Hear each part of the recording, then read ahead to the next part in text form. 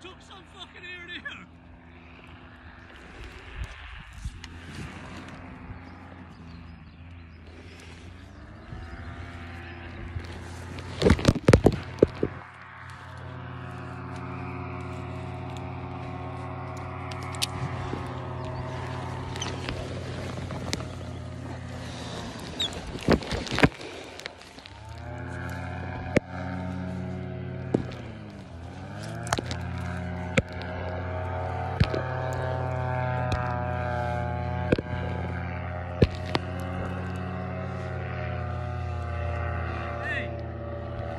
You okay?